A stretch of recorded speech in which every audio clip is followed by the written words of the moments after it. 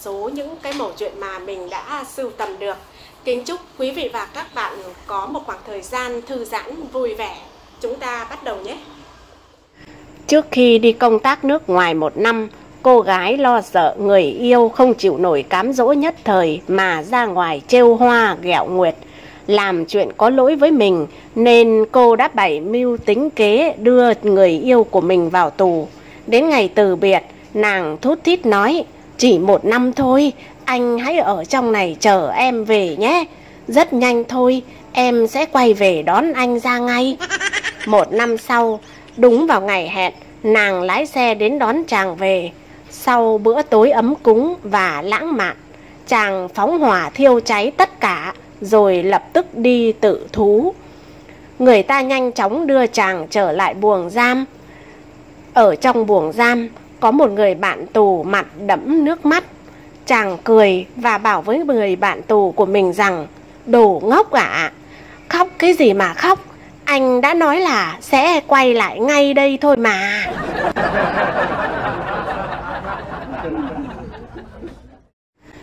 Lúc đi học, Tôi cầm theo quả hồng. Sau khi lên xe bus thì cắm cúi nghịch di động. Tiện tay tôi nhét quả hồng vào túi, vừa ngồi xuống, có một tiếng đánh pẹt vang lên. Thịt quả hồng màu vàng đỏ lòi ra dưới mông. Mọi người trên xe lập tức bịt mũi. Vì muốn giải thích rõ, tôi còn quẹt một tí đưa lên miệng. Kết quả là cả xe thi nhau ói. Bác tài xế gắng gượng lên tiếng. Đó là cứt thật của đứa bé kia vừa ị đùn ra, quả hồng của cậu rơi dưới đất kia kìa.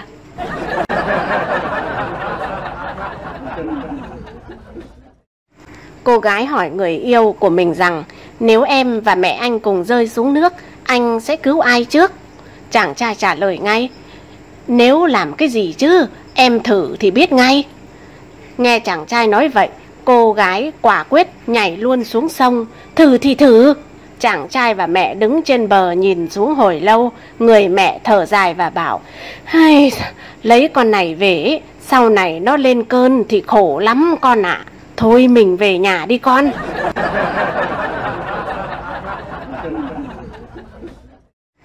Một chàng trai đến gặp thiền sư với vẻ mặt ủ rũ Chàng nói rằng Con hết lòng hết dạ với mối tình đầu Cô ấy nói gì con cũng nghe, muốn sao con cũng chiều. Kết quả cô ấy chê con nhu nhược, không có chính kiến nên đòi chia tay.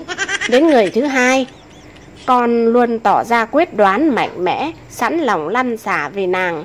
Không ngờ cô ấy bảo con quá hoàn hảo, ở cạnh con không có cảm giác an toàn gì hết. Thiền sư bất giác đưa tay sờ đầu.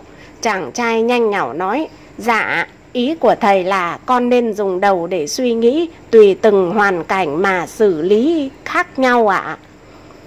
Thiền sư trả lời, ý ta là một hòa thượng như ta đây thì hiểu gì về tình yêu chứ?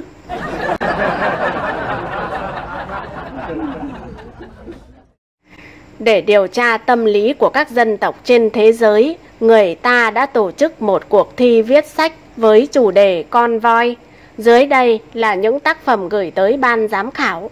Người Mỹ, một cuốn sách có tên Làm thế nào để nuôi voi trong vườn nhà, vui mà lại có lãi. Người Đức, ba quyển sách dày như từ điển, to bằng nửa cái bàn với tựa đề in bằng chữ đen trên nền trắng, sơ khảo về voi, ba tập. Người Nga, một cuốn sách dày, trên bìa có ghi chữ cổ, tổ tiên ta đã tìm ra voi như thế nào người Pháp một cuốn sách mỏng trang trí cầu kỳ với nhiều hình tượng, cách điệu ngoài bìa với tựa đề voi và đời sống tình dục của nó. Còn người Trung Quốc thì 1001 món ăn làm từ voi.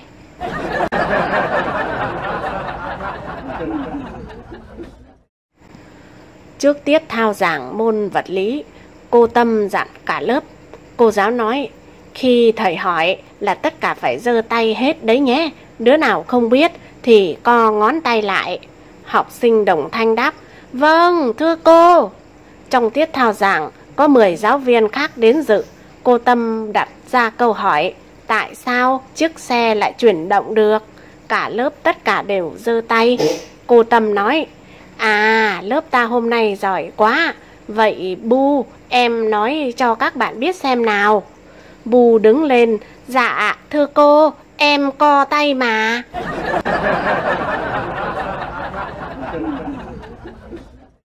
Cứ mỗi lần người đàn ông nhà bên đến gõ cửa nhà Robinson là y như rằng ông ta sẽ mượn một thứ đồ gì đó. Robinson lẩm bẩm nói với vợ rằng lần này ông ta sẽ không có cơ hội mượn được thứ gì nữa đâu. Người hàng xóm bắt đầu. Ơ, tôi tự hỏi không biết sáng nay anh có dùng cái cưa máy hay không nhỉ? Robinson nói, Ồ, tôi rất tiếc, nhưng thật sự thì cả ngày hôm nay tôi phải dùng đến nó rồi. Người hàng xóm hỏi, nếu như vậy thì anh sẽ không cần những cây gậy chơi gôn đâu nhỉ? Anh có phiền nếu tôi mượn chúng không?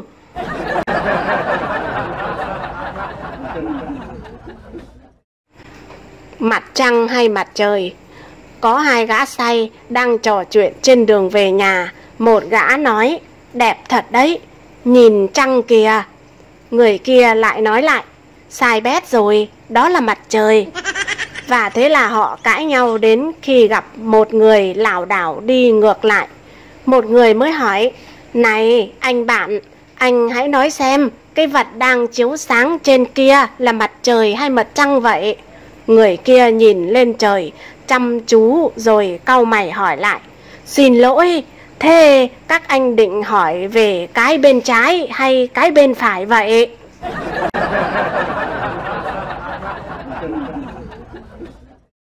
Thực tế, có một anh chàng nọ muốn tạo điều kiện cho cậu bạn thân của mình có được những trải nghiệm thực tế trước khi kết hôn nên nói với vợ Vợ ơi, hôm nay anh muốn mời thằng Tuấn về nhà ăn cơm tối. Cô vợ nghe vậy, liền gào lên anh điên đấy phỏng, nhà mình bề bộn, ngập ngụa trong rác bẩn như thế này. Cả tuần nay em cũng chưa đi chợ lấy gì mà nấu để đãi khách chứ. Còn bát đĩa suốt mấy ngày nay anh có chịu rửa đâu. Thế mà anh còn dày mặt mời bạn về nhà nữa ư? Người chồng trả lời, à em đừng có lo, thằng bạn anh nó định lấy vợ. Anh muốn cho nó đi thực tế tìm hiểu trước rồi đưa ra quyết định cuối cùng ấy mà.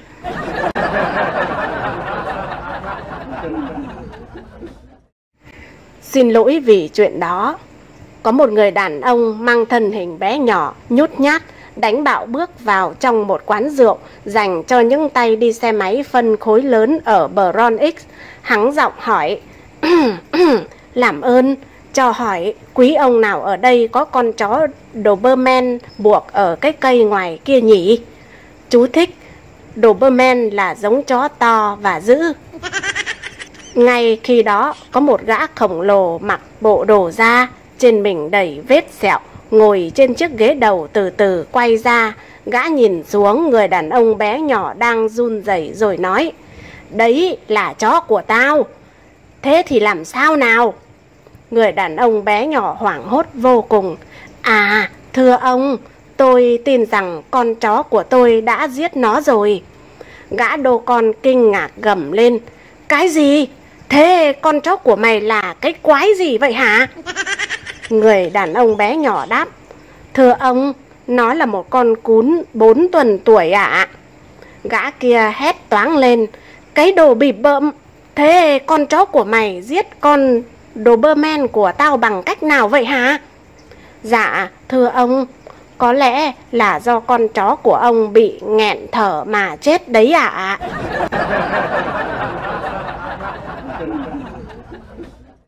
Dũng cảm có hai ông già đang ngồi tán gẫu trong công viên. Ông A nói, hôm qua tôi đang đi trên đường thì có một tên cướp chặn xe lại. Hắn nói, muốn sống thì để lại xe và cút đi ngay. Ông B vội hỏi, thế ông có đưa xe cho hắn không? Ông A trả lời, ồ không, tôi bỏ mũ bảo hiểm ra và nện cho hắn một trận tơi tả. Ông B nghe vậy liền ngạc nhiên và hỏi dồn Trời, ông thật là dũng cảm. Thế ông là cựu cảnh sát hả? Ồ không, tôi là bố của nó đấy.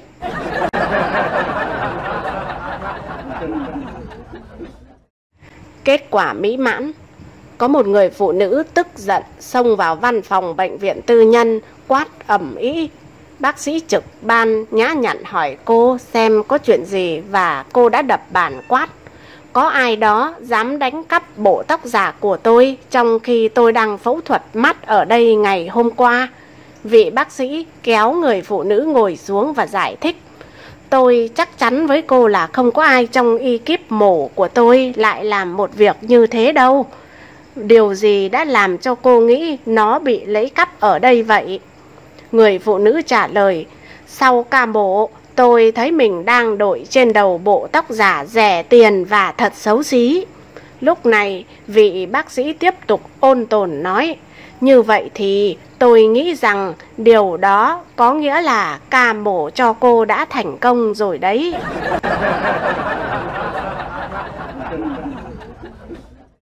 Tay nghề cao. Một ông luật sư đang thoi thóp trên giường bệnh, Gọi vợ đến gần. Người vợ hỏi, Có chuyện gì thế, anh yêu? Ông nói, Hãy mau mau mang đến cho anh một cuốn kinh thánh. Vốn là người dùng đạo Bà vợ rất vui mừng, vội đi lấy ngay một quyển kinh thánh, dự định sẽ đọc cho ông chồng nghe những câu nói tuyệt vời về định mệnh. Vị luật sư vồ lấy cuốn sách từ tay bà vợ và lật lia lịa từng trang, mắt không ngừng đảo qua đảo về. Bà vợ hết sức ngạc nhiên hỏi, Ơ kìa, anh tìm cái gì thế anh yêu? Vị luật sư gào lên, anh anh đang tìm những kẽ hở.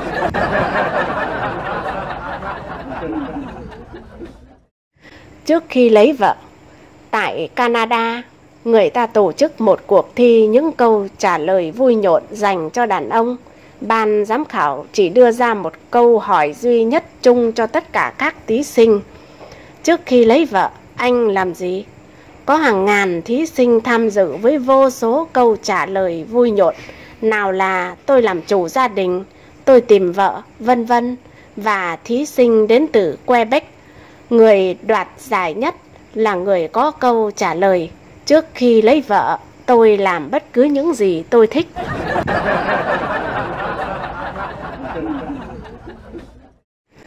Ông ba bị có hai vợ chồng nhà nọ, có đứa con đã 5 tuổi rồi mà cứ khóc nhề nhẹ cả ngày. Hôm ấy, nhằm lúc thằng nhỏ đang khóc, thì có người bạn đến chơi. Người cha liền dọa, con nín đi, nếu không ấy, ông ba bị bắt bây giờ. Người bạn biết ý, liền trợn mắt phùng má, làm thằng nhỏ hết hồn, rồi núp mặt vào lòng mẹ, rồi nín khóc luôn. Mấy hôm sau, tình cờ người chồng đi làm về sớm hơn lệ thường. Vừa mở cửa bước vào, thì thấy đứa con hớn hở chạy ra reo lên. Hay quá bố ơi, ông ba bị vừa mới bị mẹ nhốt vào tù rồi.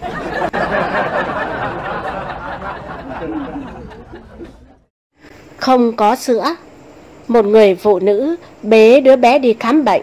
Bác sĩ khám và phát hiện ra rằng thằng bé bị suy dinh dưỡng.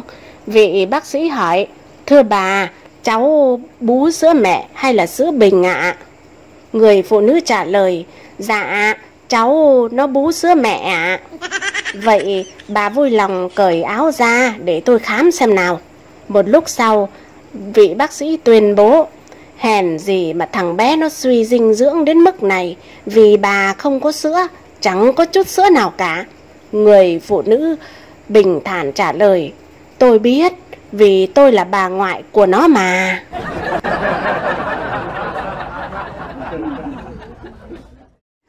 Đề nghị trong quá trình tiến hành tập sự cho hôn lễ, chú rể bí mật tiếp cận vị mục sư và đưa ra lời đề nghị. Tôi sẽ đổi 100 đô la lấy việc bỏ các từ yêu thương, tôn trọng, vâng lời và trung thủy với cô ấy mãi mãi trong lời thề kết hôn. Vị mục sư đồng ý và nhận lấy 100 đô la với vẻ hài lòng. Hôm sau, vào buổi lễ chính thức, Vị mục sư nhìn thẳng vào mắt chàng trai mỉm cười nhẹ nhàng và chậm rãi nói Chàng trai, bạn có hứa sẽ sẵn sàng phủ phục mình trước mặt cô gái đứng trước mặt đây, vâng theo mỗi mệnh lệnh của cô ấy, mang đồ ăn sáng đến bên giường cô ấy vào buổi sáng trong suốt cuộc đời sau này của bạn. Đồng thời, thề trước mặt Chúa sẽ không bao giờ thèm nhìn bất kỳ một người phụ nữ nào khác cho đến khi cả hai không còn trên cõi đời này. Chú rể nuốt nước bọt và nhìn xung quanh đáp lại bằng một giọng rất nhỏ nhẹ. Vâng. Ngay sau nghi thức, chàng trai ngay lập tức bám chặt lấy vị mục sư và rít lên. Tôi nghĩ chúng ta đã có một thỏa thuận. Lúc này vị mục sư mới đặt vào bàn tay anh một tờ tiền cũ dích và thì thầm nói cô ấy đã đưa ra một lời đề nghị tốt hơn rồi.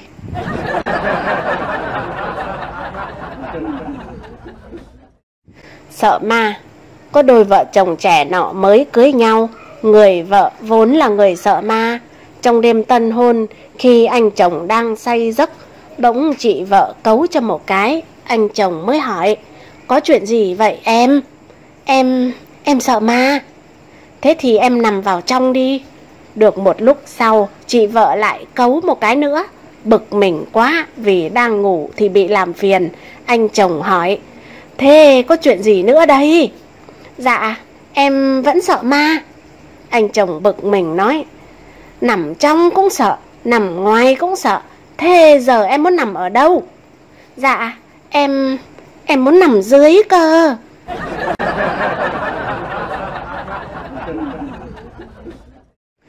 Anh chồng đi làm về, ngồi vào bàn ăn và cầm mẩu bánh mì cháy lên rồi hỏi, ai nướng bánh mì vậy? Bà mẹ muốn con mình mắng nàng dâu nên nói đầy vẻ mỉa mai. Vợ anh chứ còn ai vào đây nữa, khéo tay đấy. Anh chồng vội nói, thảo nào bánh mì rất ngon.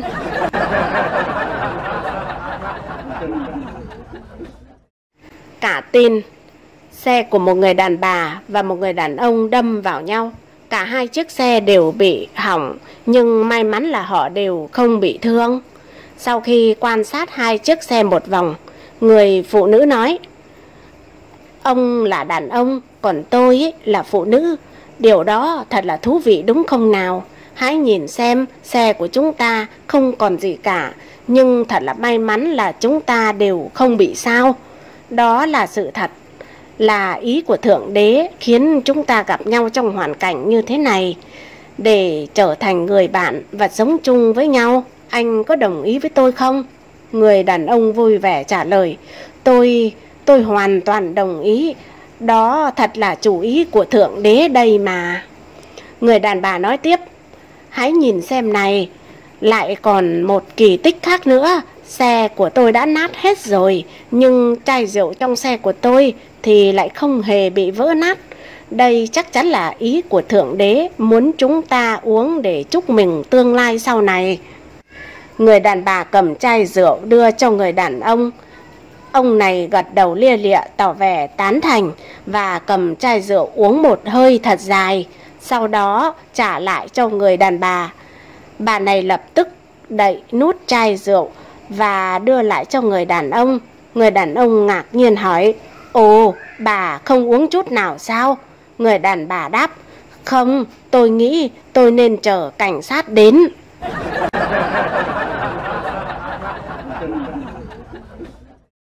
Giấu đầu hở đuôi Sau khi đi nghỉ hè về, bà vợ phát hiện ra hai cái quần lót lạ trong tủ quần áo của mình. Bà vợ giận dữ gọi chồng đến hỏi, Anh, anh nói cho em biết, đây là quần lót của ai hả?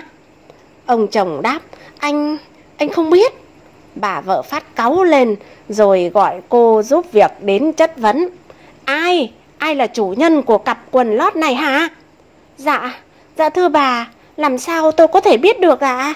Chúng không phải là của tôi, tôi không mặc quần lót bao giờ. Nếu không tin ấy, bà cứ hỏi ông chồng bà thì biết ngay.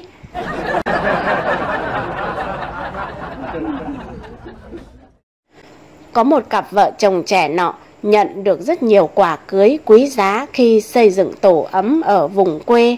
Một buổi sáng nọ, Họ nhận được qua đường bưu phẩm có hai vé mời xem buổi trình diễn nổi tiếng trong thành phố.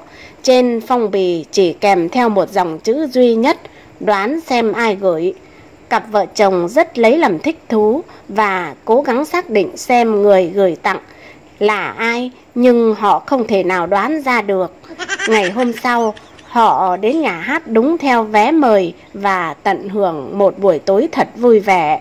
Về đến nhà, lúc trời đã khuya lắm rồi, khi hai vợ chồng vẫn còn cố suy đoán tung tích người mời vô danh nọ, thì họ phát hiện ra nhà mình đã bị cuỗm sạch mọi món đồ có giá trị.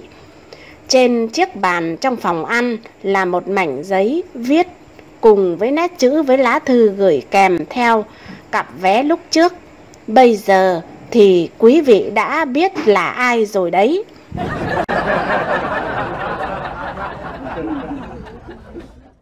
Tưởng bở, có một nữ sinh viên nọ rất xinh đẹp nhưng lại lười học. Hôm thi vấn đáp, cô mặc rất đẹp, còn vị giảng viên là một thầy giáo trẻ đẹp trai. Thầy vừa nhìn vừa ra câu hỏi. Nhưng ngay sau đó, thầy đã nhận được câu trả lời, em, em không biết ạ. Thầy hỏi tiếp, vậy bây giờ em muốn tôi đưa ra một câu hỏi khác hay là một cuộc hẹn đây?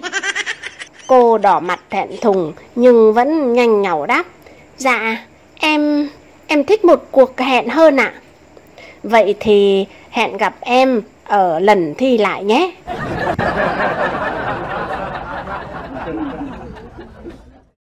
Những khách hàng đặc biệt Có hai con khỉ đi vào một quán bar và gọi hai cốc bia. Nhân viên phục vụ chưa bao giờ bán bia cho khỉ nên anh ta cảm thấy rất ngạc nhiên rồi chạy lên lầu hỏi ý kiến ông chủ. Dạ, dạ thưa ông, ở dưới kia có hai con khỉ đòi gọi bia, tôi phải làm gì bây giờ ạ? Ông chủ nói, thì cứ phục vụ chúng nó đi, cái đồ ngu. Ồ, mà chờ đã nào, chúng nó chắc không biết gì đâu, hãy tính gấp đôi nhé. Anh phục vụ chạy xuống lại và mang hai cốc bia cho những con khỉ và tính tiền gấp đôi. Tối hôm đó, hai con khỉ lại tới uống bia nữa. Thấy vậy, anh phục vụ nói, ở nhà hàng của chúng tôi có ít khỉ lui tới lắm. Con khỉ trả lời, ồ, với cái giá cắt cổ như thế thì điều đó có gì lạ đâu.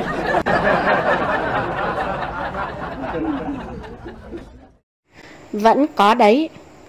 Tránh án hỏi đương sự đang trong trạng thái run lẩy bẩy. Anh có vợ chưa? Dạ, dạ rồi ạ. Người ấy là ai? Dạ, bẩm tòa, một người phụ nữ ạ. Anh đừng có giỡn mặt ở chốn pháp đỉnh như thế. Thế anh đã nghe nói ai lấy một người đàn ông chưa? Dạ, bẩm, có ạ. Thưa tòa, như chị tôi đấy ạ.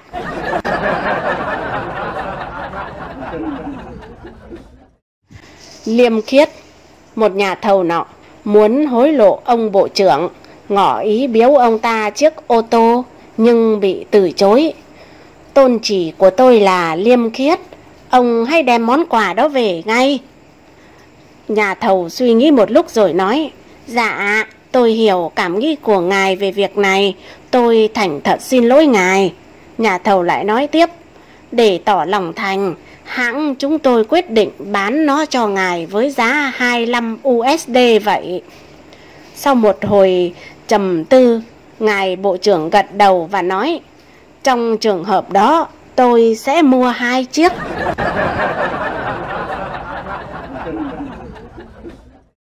Công dụng mới của TV Có một người đàn ông nọ, sau khi kết hôn 10 năm, ông ta quyết định mua cho vợ một chiếc váy.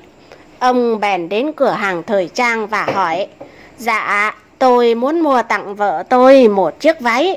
Người bán hàng liền nói, Xin lỗi ông, chị nhà mặc cơ bao nhiêu ạ?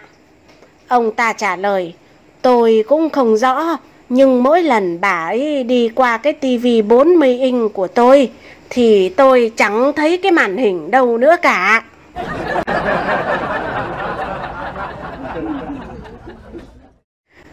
Trong một kỳ đi nghỉ hè, một người đàn ông đang chuẩn bị chụp ảnh cho bà xã của mình.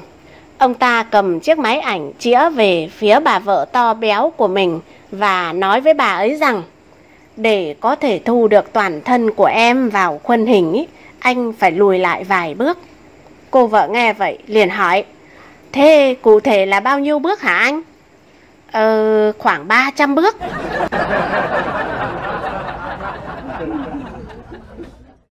Một thiếu phụ nọ đang làm cơm trong bếp, bỗng có tiếng gõ cửa.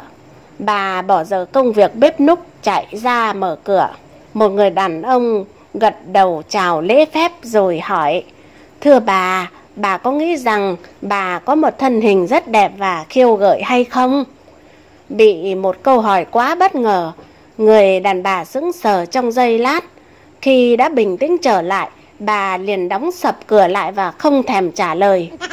Đến chiều hôm sau, lại có tiếng gõ cửa. Vẫn người đàn ông hôm trước và vẫn câu hỏi như cũ. Thiếu phụ lại trả lời bằng thái độ lặng thinh. Câu chuyện đó diễn ra suốt một tuần lễ liền. Người đàn bà không chịu nổi nữa, bèn kể đầu đuôi với chồng mình để tìm cách đối phó. Đến ngày hôm sau, người chồng bèn nấp sau cánh cửa và khi nghe tiếng gõ cửa, người vợ ra mở cửa. Người đàn ông kia nói, chào bà, bà có nghĩ rằng bà có một thân hình rất đẹp và khiêu gợi hay không? Lúc này, người phụ nữ yên trí rằng đã có chồng đứng sau cánh cửa. Bà liền trả lời, đúng, như vậy thì có sao không? Dạ, thưa bà, nếu vậy thì xin bà hãy nói với ông nhà là hãy dùng đồ nhà chứ đừng sang ve vãn vợ tôi nữa.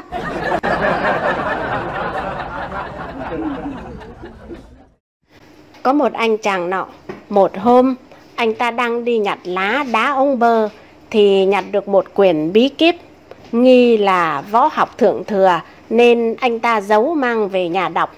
Trang một viết miêu tả về võ công có thể hô mưa gọi gió, độc bá thiên hạ, đưa người ta lên đỉnh cao của võ học. Trang hai viết cần phải tự cung mới có thể luyện. Sau một hồi đắn đo suy nghĩ, anh ta hạ quyết tâm vung đao tự cung. Xong việc, anh nén đau đọc tiếp bí kíp, trang ba viết, không tự cung cũng không sao. Anh ta điên cuồng quá, nổi lửa lên đốt ngay quyển bí kíp đó. Khi sách cháy gần hết, trang cuối quyển bí quyết bay ra. Chàng trai đưa mắt nhìn, trang cuối viết rằng nếu đã tự cung thì sau khi luyện thành bí kíp của quý sẽ mọc lại.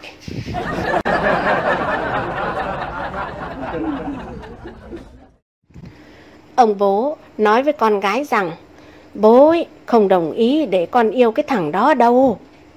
Cô con gái liền hỏi Sao thế ạ? À?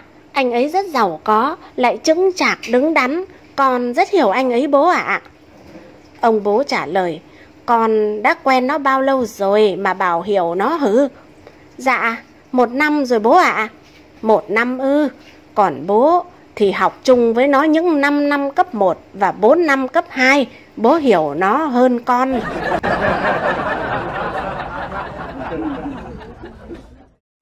Bố than phiền về cô. Cô giáo bảo Tèo, em học lười ý, thì chỉ có làm khổ bố mẹ thôi. Tèo trả lời, dạ, thưa cô, bố em lại bảo rằng chính cô mới làm bố em khổ đấy ạ. À. Phải suy tư nhiều và thỉnh thoảng lại còn mất ngủ thoáng đỏ mặt, cô giáo hỏi lại. Em không đùa đấy chứ, em nói rõ hơn xem nào. Vâng ạ, vì cô cho con nhiều bài tập về nhà quá, bố em làm không xuể ạ.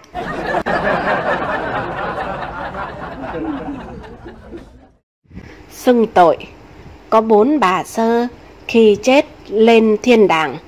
Khi đến cổng thiên đàng thì bốn bà xưng tội với vị thánh gác cổng. Bà thứ nhất xưng Còn lỡ chạm ngón tay vào cái ấy của đàn ông Vị thánh nói, Không sao, Con hãy nhúng ngón tay vào chậu nước thánh đi Đến bà thứ hai xưng tội Dạ Con lỡ chạm nguyên cả bàn tay Vị thánh cũng trả lời, không sao, vậy thì con hãy nhúng bàn tay vào chậu nước thánh. Người thứ ba bước tới xưng tội, thì bà thứ tư chặn lại. Vị thánh hỏi, sao con lại ngăn bà ta lại? Bà thứ tư trả lời, bà ta mà để nguyên cái mông vào chậu nước thì làm sao con xúc miệng được ạ? À?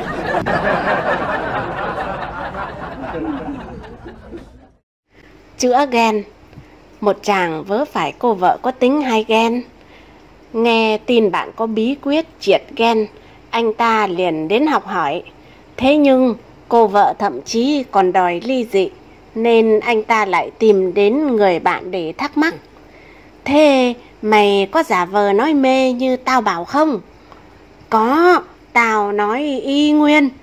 Thế mày thử nói lại cho tao nghe nào. Liên nạ, anh chỉ yêu có mình em.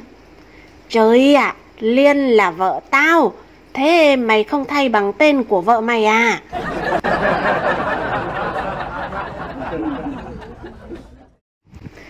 Tiếng chít chít tế nhị.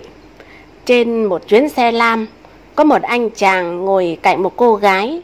Bỗng chàng ta đau bụng quá Buồn đánh rắm Nhưng mà sợ quê Nên anh chàng cứ cắn răng nín nhịn.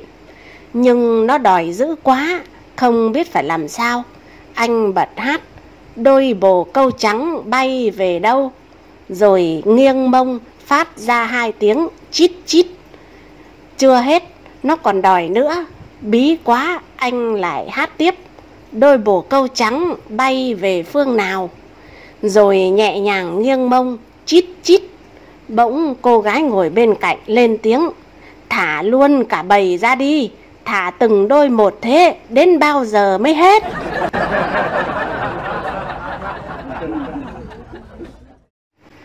Ở cổng thiên đàng, Thánh Peter đứng gác, bỗng thấy một thanh niên miệng cười tủm tỉm, cứ đứng lần trần chưa muốn bước vào. Thánh liền hỏi, Này, vào thì vào đi, chứ tới đây rồi mà còn cười đều ai đấy hử? con lên đây gần một giờ rồi mà mấy ông bác sĩ ở dưới kia vẫn còn đang hì hục mổ con đấy ạ. À?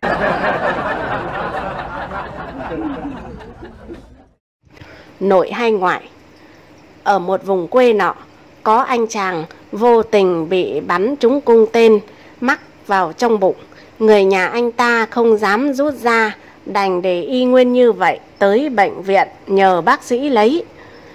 Khi gia đình đưa anh ta tới khoa ngoại, nhờ lấy cung tên ra, thì được các bác sĩ nhanh chóng tận tình lấy cưa, cưa ngang mũi tên rồi rửa vết thương băng lại và các bác sĩ và y tá nói như thế đã xong rồi. Người nhà anh này ngạc nhiên hỏi, Ủa, sao lại kỳ thế hả bác sĩ? Bác sĩ trả lời, kỳ là kỳ thế nào? Người nhà hỏi tiếp, sao bác sĩ chỉ cưa khúc ngoài, vậy còn khúc trong sao lại không lấy ra ạ? Bác sĩ thẳng thốt trả lời, À, người nhà thế đưa vào đây không nhìn kỹ bảng hiệu hay sao? Ở đây là khoa ngoại thì nhiệm vụ của chúng tôi tới đây là xong, còn phần còn lại là thuộc về bên khoa nội, có hiểu không?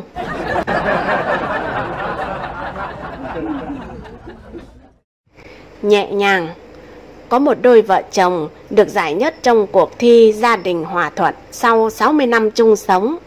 Một phóng viên của một tờ báo nọ đã phỏng vấn về bí quyết giữ hạnh phúc gia đình. Người chồng nói, dạ, đó là kinh nghiệm khi hai chúng tôi đi hưởng tuần trăng mật. Nàng cưỡi trên một con la và đi dạo. Khi con la của nàng vấp ngã, nàng nhẹ nhàng nói, lần thứ nhất. Và đi được một đoạn nữa, con la của nàng lại vấp ngã. Lần này nàng vẫn nhẹ nhàng và nói, lần thứ hai. Khi con la của nàng vấp ngã tới lần thứ ba, nàng liền rút súng ra và bắn chết con la. Và khi tôi lên tiếng phản đối cách ứng xử thô bạo của nàng, thì nàng nhìn tôi và nói nhẹ nhàng, lần thứ nhất.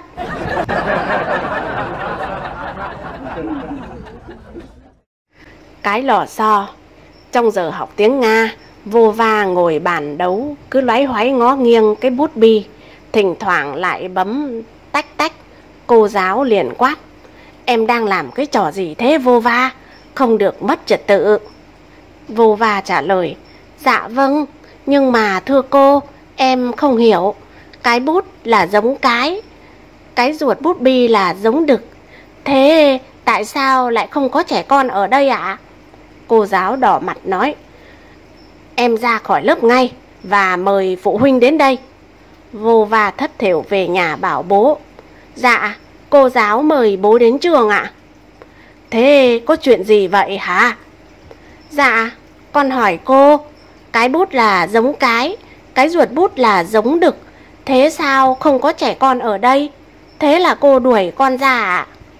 Bố vô va liền tháo tung cái bút bi Ngó nghiêng một hồi, Bỗng thốt lên À đây rồi, Tất cả là tại cái này, Có một cái lò xo nằm ở đây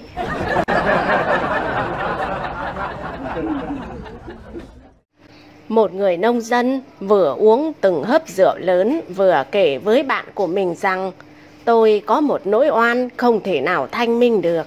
Giờ đây, cô vợ tôi coi tôi như một kẻ bệnh hoạn súc sinh. Một kẻ khốn nạn nhất mà cô ấy từng gặp. Người bạn liền an ủi. Sao anh nặng lời thế? Hãy kể đầu đuôi cho tôi nghe xem nào. À, chả là thế này. Hôm ấy tôi đang vắt sữa cho con bò cái to nhất. Tự dưng nó cứ quật cái đuôi lung tung làm đổ thùng sữa mấy lần. Ơ, chỉ vì đổ sữa mà vợ anh lại... Ồ không, lúc đó tôi không có sợi dây nào. Thế là tôi bèn cởi thắt lưng ra và buộc vào đuôi con bò lên nóc chuồng. Do không còn thắt lưng, cái quần của tôi tụt xuống, thì đúng lúc vợ tôi bước vào, và thế là tôi không thể nào giải thích nổi. Người bạn ẩm ừ đáp, ừ nhỉ, cũng khó thật đấy.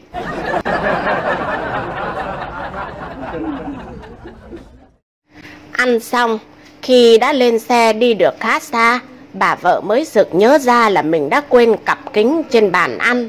Suốt quãng đường trở lại quán, ông chồng thì luôn mồm cằn nhằn tính hay quên của bà vợ.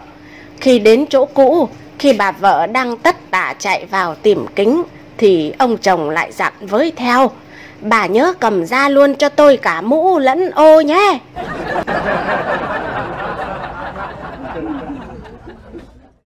Có một người đàn ông với vẻ mặt lo lắng đi gặp bác sĩ để khám sức khỏe định kỳ. Ông bác sĩ hỏi, sức khỏe của ông vẫn bình thường đấy chứ? Người đàn ông trả lời, nói thật với bác sĩ là tôi dường như bị mắc chứng bệnh đáng trí thì phải. Tôi không bao giờ chắc chắn được là mình đã đậu xe ở đâu hoặc đã trả lời thư chưa. Tôi luôn tự hỏi mình đang đi đến đâu và sẽ làm gì khi đến nơi đó. Vì thế tôi rất cần sự giúp đỡ của ông bác sĩ ạ. À. Ông bác sĩ trầm ngâm một lát rồi nhẹ nhàng bảo, Thế thì ông hãy trả tiền khám bệnh cho tôi trước đi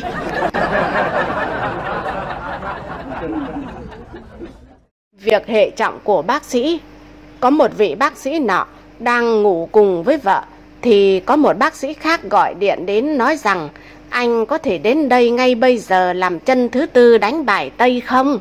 Vị bác sĩ vội trả lời Được được, bằng mọi giá, tôi sẽ đi ngay bây giờ Cô vợ hỏi khi giúp chồng lấy áo và đồ nghề Hệ trọng lắm hả anh?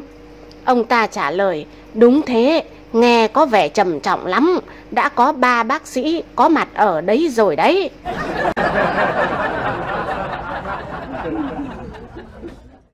Suất ưu đãi ở bệnh viện. Nữ nhân viên của bệnh viện cầm giấy giới thiệu đến giả phim để xin vé xem tư liệu.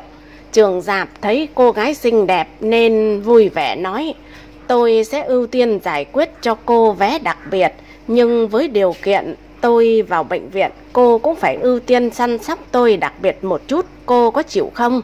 Nữ nhân viên y tế liền trả lời Ồ, vụ đó thì dễ quá. Em sẽ ưu tiên đặc biệt cho anh Đặc biệt là sao? Thử bật mí coi nào Dạ, chính em sẽ lau chùi tắm rửa và sửa sang giường nệm cho anh yên giấc.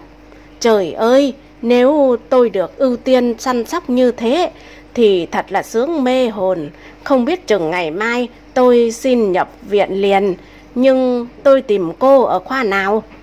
À, anh cứ việc hỏi cô Xuân, nữ hộ lý phục vụ ở nhà xác là được.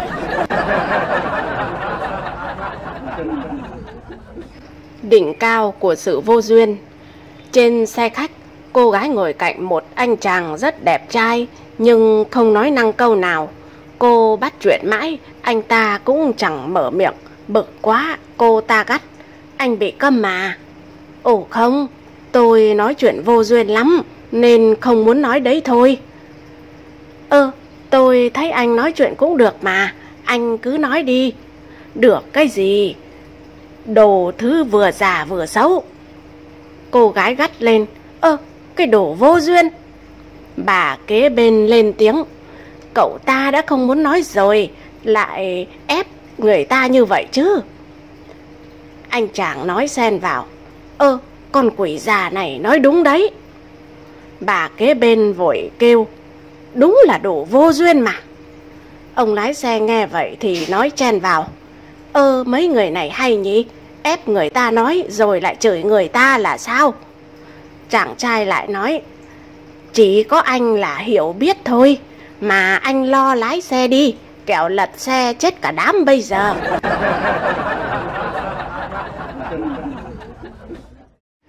Một tên đẹp trai lọt vào mắt vợ tôi. Có hai anh bạn đồng nghiệp đang trò chuyện với nhau. Một người nói, tuần trước, một viên cát lọt vào mắt vợ tôi, phải đi bác sĩ để gắp ra mất những 50.000 đồng. Người kia đáp, nhằm nhỏ gì chứ, tuần trước nữa, cái váy lọt vào mắt vợ tôi, tôi đã phải tốn 500.000 đồng đấy. Lúc này, ông sếp đi ngang qua, nghe hai nhân viên nói chuyện, liền lên tiếng. Giọng tai lên mà nghe, đừng có than thở. Một tên cao 1m85, nặng tới 80kg lọt vào mắt của vợ tôi. Và thế là tôi đi tong một nửa gia sản đấy.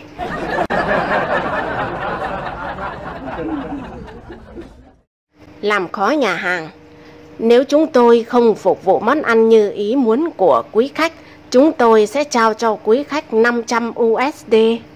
Sau khi đọc xong tấm biển ấy, một người đàn ông bước vào và gọi món.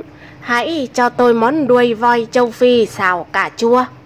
Nhà hàng nháo nhào cả lên, đầu bếp thì đổ mồ hôi hột. Mấy anh bồi bàn chạy tới chạy lui. Cuối cùng, ông chủ nhà hàng bước đến bên ông khách, đặt lên bàn 500 USD rồi nói, tiền của ông đây, ông quả là may mắn đấy. Nhà hàng tôi chưa bao giờ không làm hài lòng khách, nhưng nói cho ông biết đấy nhé, đây là lần đầu tiên nhà hàng tôi hết cà chua.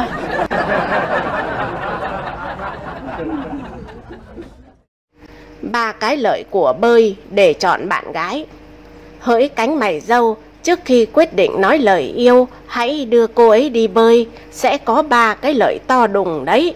Một, vải che thân ít nên có thể nhìn thấy gần như toàn bộ cơ thể, đẹp xấu thế nào sẽ lộ rõ hết nhé. Hai, nhìn thấy khuôn mặt thật, dưới nước dù có trang điểm đằng trời đều cũng sẽ bị phai hết mà thôi. Ba, đợi đến lúc biết bơi, cô ấy sẽ không bao giờ hỏi bạn câu nếu mẹ anh và em cùng rơi xuống nước, anh sẽ cứu ai?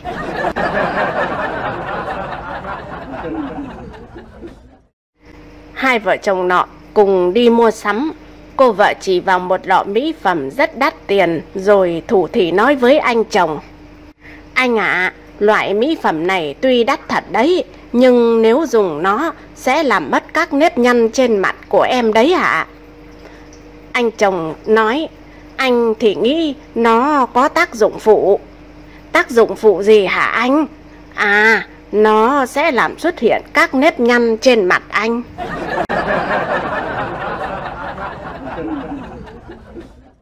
Ăn đầu cá giúp cải thiện trí thông minh. Green là người bán cá nổi tiếng thông minh nhất vùng. Một hôm, có người khách tò mò hỏi anh ta, Điều gì khiến cậu thông minh đến thế? Green thì thầm, thường thì tôi không tiết lộ bí mật này đâu, nhưng nể tình ông là khách quen, tôi sẽ nói cho ông biết đầu cá ông ăn càng nhiều thì sẽ càng thông minh ra đấy. Người khách phấn khích hỏi, thế cậu có bán đầu cá không? Green vui vẻ đáp, có chứ, 4 đô la một cái. Người khách mua ba cái đầu cá, một tuần sau ông ta quay lại cửa hàng rồi phàn nàn. Ôi dào, mấy cái đầu cá có mùi vị trắng ra gì mà tôi ăn xong cũng chả thấy thông minh lên tí nào cả. Green điềm tĩnh đáp, đó là do ông ăn chưa đủ số lượng đấy thôi, phải ăn thật nhiều mới khôn lên được chứ. Người khách lại tiếp tục mua thêm 20 cái đầu cá nữa. Một tuần sau, ông ấy lại quay lại rồi la ầm lên. Cậu nghĩ sao mà bán cho tôi một cái đầu cá với giá 4 đô la? Trong khi đó, với 2 đô la, tôi có thể mua được cả con cá to. Cậu đang lừa tôi đấy à? Green nghe thế liền cười phá lên. Đấy, ông bắt đầu thông minh hơn rồi đấy.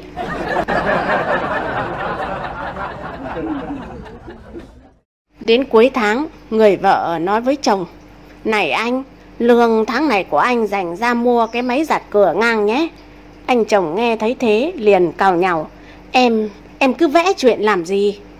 Người vợ giải thích, chứ cái máy giặt cửa đứng nhà mình giặt hại quần áo lắm anh ạ.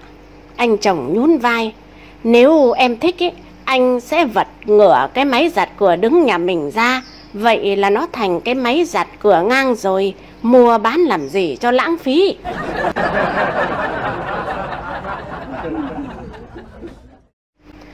Trong buổi học đầu tiên, giáo viên nói với cả lớp, lịch sử là môn học thú vị và bổ ích, nó sẽ giúp các em biết những gì đã từng xảy ra trong quá khứ.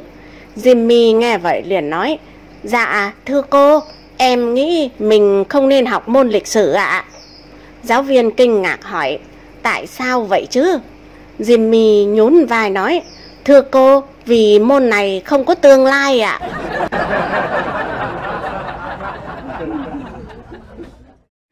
Kiểm tra sổ liên lạc của con trai, Tổ thấy bức ảnh của mình kẹp ở giữa, liền hỏi. Cái gì thế này? Con trai Tổ nhún vai đáp. Thì, thì là ảnh của bố đấy mà. Tổ tất rất tò mò nên hỏi. Vì sao nó lại nằm ở đây hả con? Cậu con trai đáp. Dạ, vì cô giáo con muốn nhìn thấy bố ạ. À? Tổ sung sướng hỏi lại. Thật à, cô giáo con nói thế nào? Dạ, cô con bảo muốn biết mặt đứa ngu nào đã làm bài hộ con.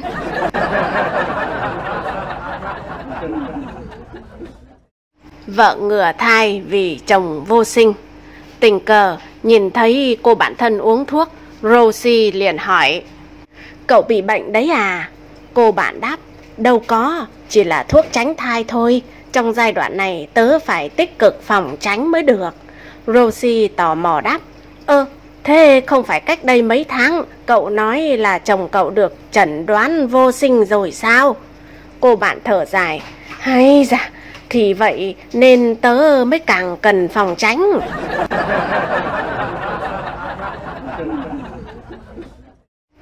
Bố choáng với lời đáp trả của con gái. Sau khi cãi nhau ầm ĩ, người vợ đòi chia tay. Ông chồng nghe thế liền cầu cứu đứa con gái 5 tuổi. Con gái à, giúp bố đi, mẹ con đòi ly hôn với bố kìa. Cô con gái rừng rưng đáp, ly hôn thì ly hôn thôi. Ông bố mếu máu, bố mẹ ly hôn mà con không quan tâm gì à? Cả việc lấy nhau mà bố mẹ còn không hỏi ý kiến con, thì tại sao con lại phải quan tâm hai người chia tay kia chứ? Cô con gái giận dỗi nói.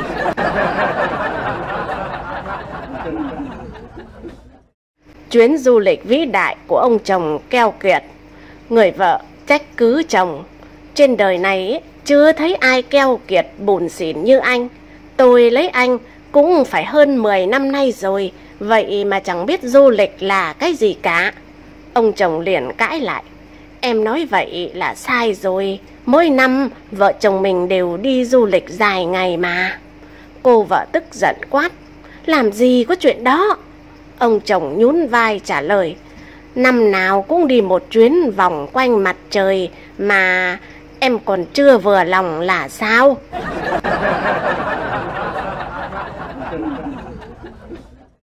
Tuyệt chiêu qua mặt ông bố vợ, khó tính. Tèo vừa tan làm thì nhận được tin nhắn của bạn gái. Chồng yêu, tối nay nhà em không có ai cả, anh sang chơi với em nhé. Tèo đọc xong liền hí hửng trả lời, thật hả vợ yêu, anh sang ngay đây. Vài giây sau, cô bạn gái gọi điện đến, giọng một người đàn ông mắng xối xả. Cậu có ý đồ gì với con gái tôi mà đòi sang nhà tôi vào buổi tối hử? Tôi đã theo dõi hai người từ lâu lắm rồi. Sau một lúc định thần, Tèo điểm tĩnh đáp. Ồ, hóa ra ông là bố con bé à? Tôi cũng đang xem con bé nhà ông định dở trò gì với con trai nhà tôi đây.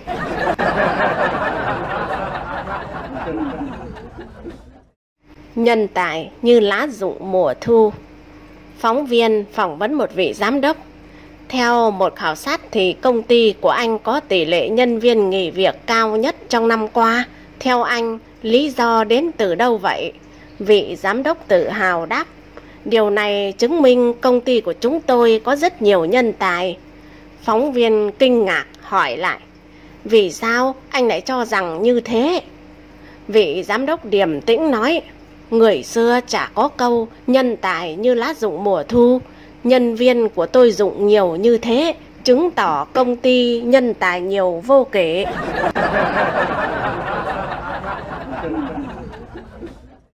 Tác hại khôn lường của việc mở miệng lúc ngủ.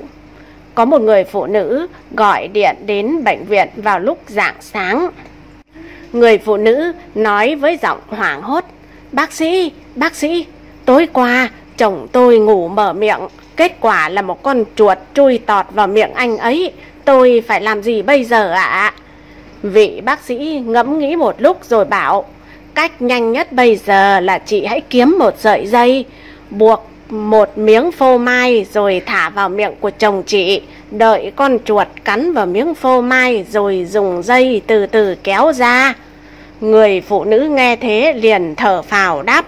Vâng, tôi biết rồi, cảm ơn bác sĩ, để tôi ra chợ mua cái đầu cá. Bác sĩ kinh ngạc. Tôi, tôi có bảo chị mua đầu cá đâu. Người phụ nữ đáp. À, tôi quên chưa nói. Tôi phải tìm cách dụ con mèo ra khỏi miệng chồng tôi trước đã.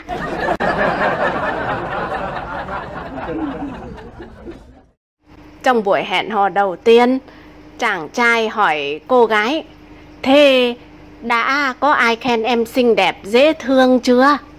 Cô gái thẹn thùng đáp, Em, em xấu thế này thì làm gì có ai khen hả anh? Chàng trai gật gù hài lòng. Ừ, em còn trẻ mà đã nhận thức về bản thân tốt như thế thì chắc chắn sau này sẽ thành công.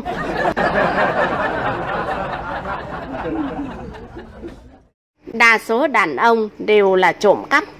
Vào năm 18 tuổi, Tèo đi xem bói và được thầy bói phán rằng Xin lỗi cho tôi nói thẳng, số cậu sau này chỉ có thể là một thằng ăn cắp mà thôi. Tèo rất tức giận, bỏ ra về. Kể từ đó, anh quyết chí lập nghiệp để không trở thành kẻ trộm cắp như lời thầy bói nói. Mười năm sau, Tèo trở thành một người đàn ông thành đạt, có vợ đẹp con ngoan. Anh quay trở lại chỗ thầy bói năm xưa, cờ, cười khẩy nói rằng Lời ông nói khi xưa hoàn toàn sai bét đấy nhé. Thầy bói nhếch môi cười rồi đáp, Chẳng phải bây giờ ngày nào anh cũng phải ăn cắp tiền mình làm ra từ ví của vợ đó sao?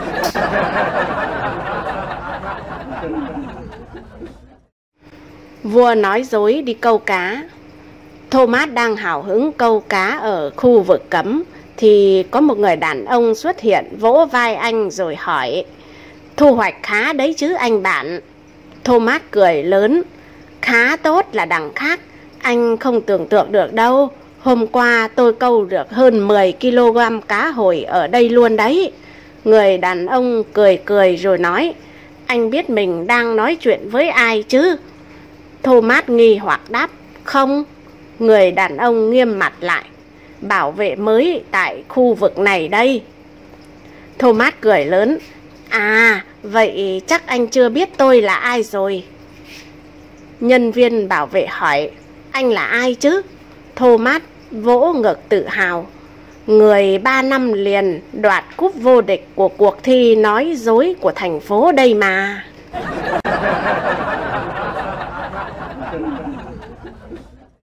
Xem phim ma để bớt cô đơn. Người vợ đi công tác ở một mình trong một khách sạn lớn, gọi cho chồng. Em ở đây một mình cô đơn và buồn quá anh ơi. Người chồng an ủi thì em hãy bật phim ma lên coi đi. Một lát nữa thôi, em sẽ không còn cảm giác cô đơn đang ở một mình nữa đâu.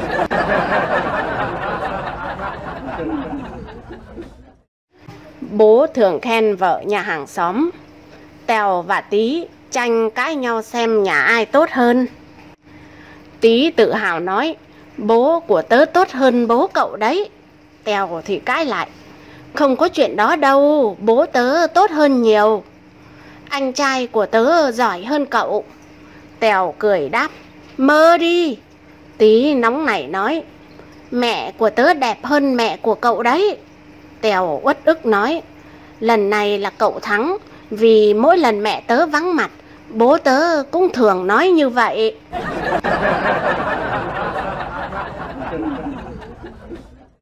Giá thuê chuồng heo Khách du lịch được chủ nhà nghỉ dẫn vào một căn phòng bẩn thỉu. Người này nhìn quanh một lúc rồi bĩu môi nói, giá thuê cái chuồng heo này là bao nhiêu? Ông chủ nhà nghỉ từ tốn đáp, cho một con heo là 2 USD, cả hai con thì 3 USD.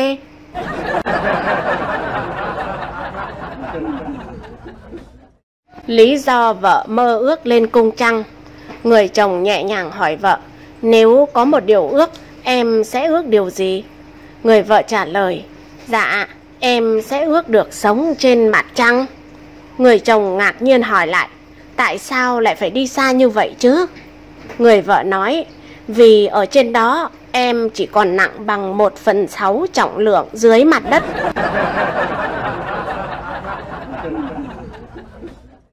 chồng đi công tác vì nhân tình của vợ.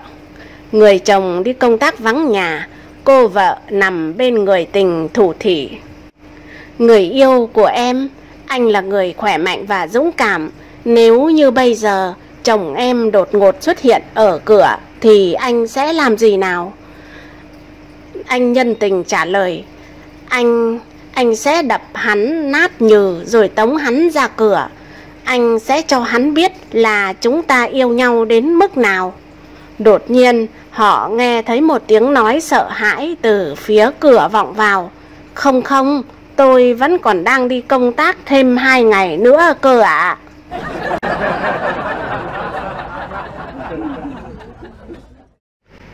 Giàu và nghèo có hai mẹ con nhà nọ cùng đi biển vào một dịp nghỉ. Cô con gái hỏi mẹ, Mẹ ơi, Sao con thấy các ông đi tắm biển, có ông mặc quần chỗ ấy thì u lên, còn có ông thì lại xẹp lép vậy hả mẹ? Người mẹ bảo, ông nào có chỗ ấy u lên là giàu đấy con ạ, còn ông nào chỗ ấy xẹp lép thì là nghèo đấy. Cô con gái tỏ vẻ suy nghĩ một hồi rồi nói tiếp, hồi nãy con thấy ông kia đứng nói chuyện với mẹ, ban đầu ông ấy nghèo, một lúc sau Ông ấy giàu lên đấy mẹ ạ. Người mẹ nói tiếp. Nếu hôm nay mẹ đi tắm biển một mình thì mẹ sẽ cho ông ấy sạt nghiệp luôn.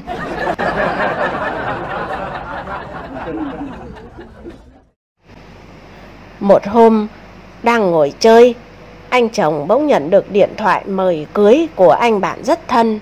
Thấy vậy, cô vợ mới hỏi, Ôi, Cuối cùng hai người này vẫn lấy nhau hả anh? Ừ, lấy chứ sao không? Nó điện thoại mời anh đây còn gì? Cô vợ tiếp lời. Anh là bạn thân của anh ấy, sao lại không khuyên anh ấy đừng lấy con bé đó? Thì sao? Vì anh ấy quá tốt, mà con bé ấy vừa xấu người lại vừa xấu nét nữa. Tóm lại là con bé này không xứng với anh ấy đâu. Mặc xác nó, đáng đời. Sao anh lại phũ phàng với bạn của anh như thế? Anh chồng trả lời. Thì vì trước đây khi anh cưới vợ, nó có khuyên can anh câu nào đâu.